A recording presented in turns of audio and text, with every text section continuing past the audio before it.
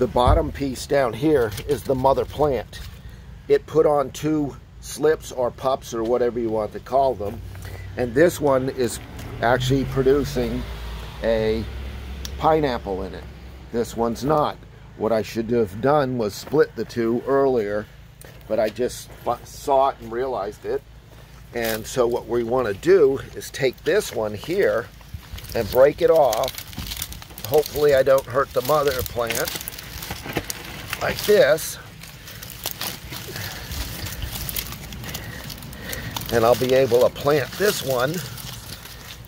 And then this one will get more of its, more of the nutrition.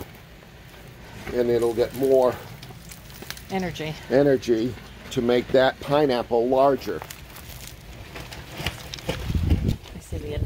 Okay, so what I do is here, I peel these pieces off here.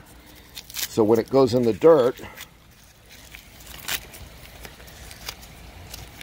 the leaves aren't down in the dirt. So I peel all of these off until I get to a nice spot like that. And I could even probably pull this piece off like so. And now when I plant this in the ground, that'll take off and be a nice plant for next year. So I'm going to go ahead and dig right here. Get it down far enough to get some good moisture.